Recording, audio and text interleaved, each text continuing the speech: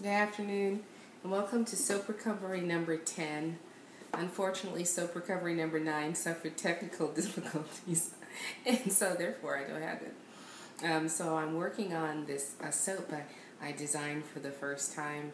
Well, I guess I designed the other ones, but this one I really had a vision in mind, and it turned out so much better than I thought. So I'm going to uh, show you that, and then while I work, I will go back and get a couple samples of what was in Soap Recovery number 10. Um, beautiful soap, really enjoyed it, but uh, somehow it oh it only show on YouTube for about maybe a minute or two, and then the rest of the video would not work. And I tried to load it again, so it has to be something, some glitch or something that I did. So the soap I'm doing today is called Berry Nightly.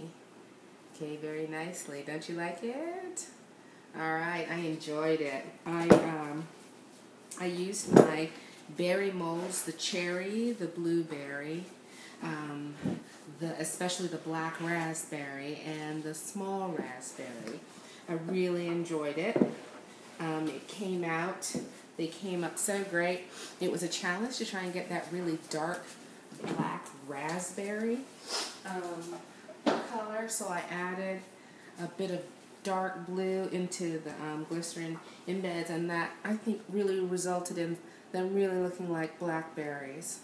And the blueberries and the raspberries and everything, it was just a fun soap to make. I scented it with, sorry,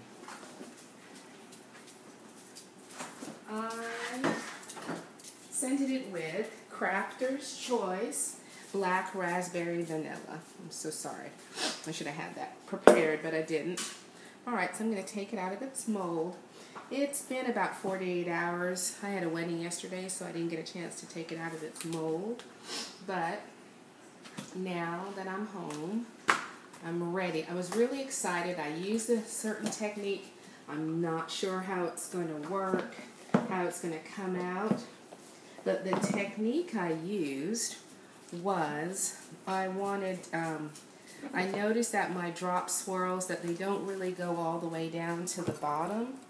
And I really wanted them to do that. So what I did was I um, uh, poured the mold half full with my um, with my uh, mixture, my soap mixture. I, I, poured it half full, and then I um, did my drop swirl, and then I layered the next layer of half of the um, the white and then drop swirls on that and then did a pattern.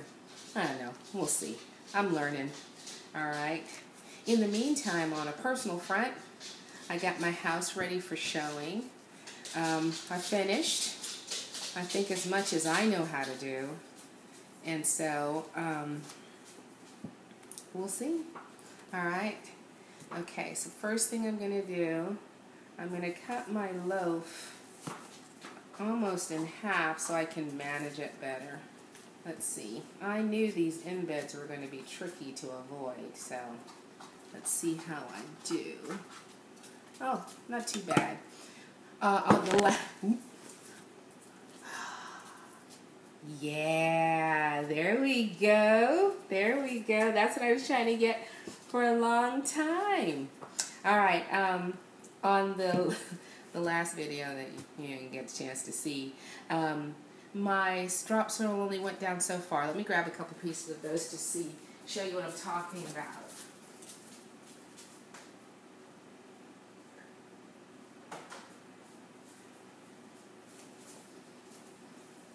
I under under I wound up with some magnet really wonderful pieces of soap, but unfortunately See how my drop swirl only went so far down. Oh, chocolate cashmere. Amazing pants. And my friends, uh, you'll be getting a piece as time goes by. It, they will be ready on Mother's Day weekend, and I'll see what I can do. I guess I'm having a little bit of the white titanium didn't quite, you know. But I'm not a professional. I'm just having fun. The teddy bears and the hearts and everything. All right, chocolate cashmere, fabulous. So this is called Berry Nicely, and I just wanted to make a soap and I was inspired by all the berry um, berries that I have. So let's see. Oh, this is going to be tricky because I lined my embeds up, but best laid best laid plans. So I'm just going to cut a couple pieces because once again, uh, my stuff is about recovering. I went to my, uh, uh, uh, I guess my, ooh, my brainstorming group, my group that I talk about life goals and what we want to be working on. And I felt really good because everything I had put down, even though it was hard, um, I did. And now it's just really up to the universe and God and um, to when the house will sell and then we'll move on. And I had a wonderful moment with my daughter where I was telling her how I couldn't sew, I couldn't do anything, I couldn't sew, I couldn't quilt, I couldn't do anything.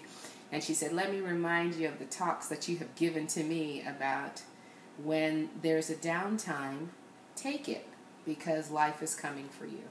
So I thought that, you know, I, I'm living and waiting for someone to purchase my home so I can get smaller. But I'm not even really thinking about what that will actually mean, how much work it will be to move from one house to another. So she enjoyed telling it to me, and I took it because I was due, because I've been pretty, um, been giving out that advice pretty strongly. So I was open to it, to my eldest giving it back to me, and she sure did enjoy it. All right, so let's cut another piece, see how it goes. Alrighty.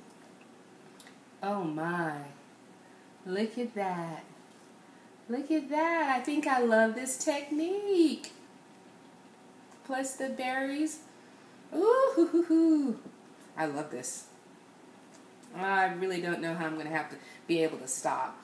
Um, I find that now that I am soaping cleaner, like there's a lot less to clean up, um, I'm feeling good about my technique.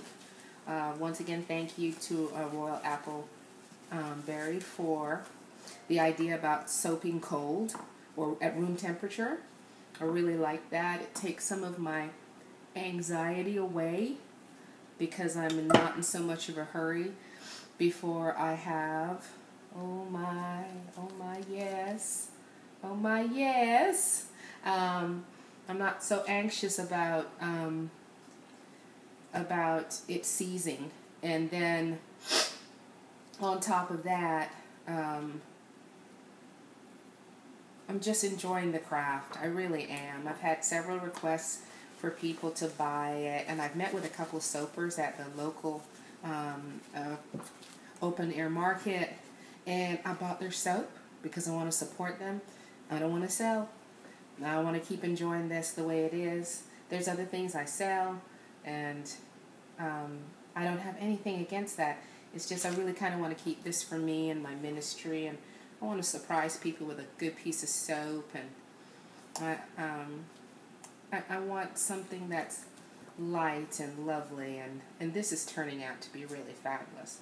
Now, I'm not exactly how I'm going to sure, sure how I'm going to do this with this big honking blackberry. Not in the right place.